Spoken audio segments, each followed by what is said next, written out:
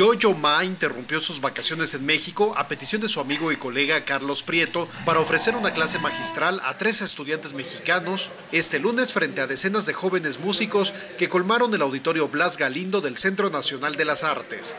A su llegada al auditorio, el violonchelista de origen chino, nacido en Francia, fue recibido entre gritos y aplausos, a los que correspondió con una gran sonrisa antes de iniciar con sus lecciones. Un mensaje fue constante a lo largo de la práctica que se prolongó durante unas dos horas. Tocar bien no basta. Lo importante es interpretar. No es acerca de la técnica, sino de lo que quieren contar.